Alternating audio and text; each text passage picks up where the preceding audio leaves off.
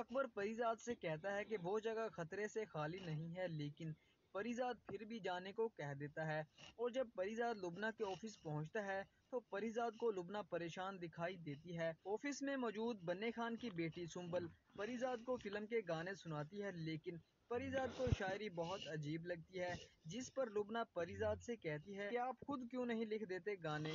परिजात कहता है कि मैंने अब लिखना छोड़ दिया है। सुम्बल परिजात से कहती है कि अगर आप बुरा ना मनाएँ तो हमारे मोहल्ले में एक शायर रहता है हमें उसके पास जाना चाहिए। शायर का नाम सुनकर परिजात भी साथ जाने को कहता है। सुम्बल परिजात और लुबना को गाँव के पुराने से घर में ले जाती है लेकिन जैसे ही परिजात दरवाज़ा खोलता है तो सामने उसका जिगरी दोस्त नासाज होता है। वो दोस्त जिसने परिजात की हर मुश्किल में मदद की थी। दोनों बहुत हम्म। रोते हैं। सुम्बल हैरान हो जाती है। वो परिजात से कहती है कि आप नासाज को बचा लो? इसे ब्लड कैंसर है। परिजात नासाज से हम्म। कहता है कि अब तुम मेरे साथ चलोगे मैं तुम्हारा इलाज कहीं भी करवाऊँगा। लेकिन नासाज जाने से इनकार कर देता है। तो दोस्तों आने वाले एपिसोड बहुत ही इंटरेस्टिंग होने जा रहे हैं।